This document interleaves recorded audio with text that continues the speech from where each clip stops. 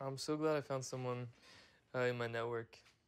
You're super affordable. Oh, yeah, tell me about it. The new company fucked me. Big time. It was a real shocker. Two in the pink, one in the shrink. What?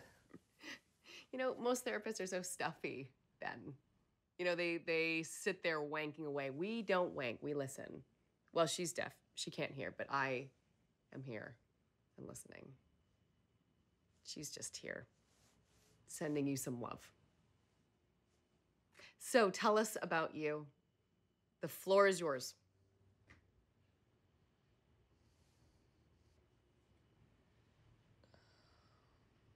Making my own.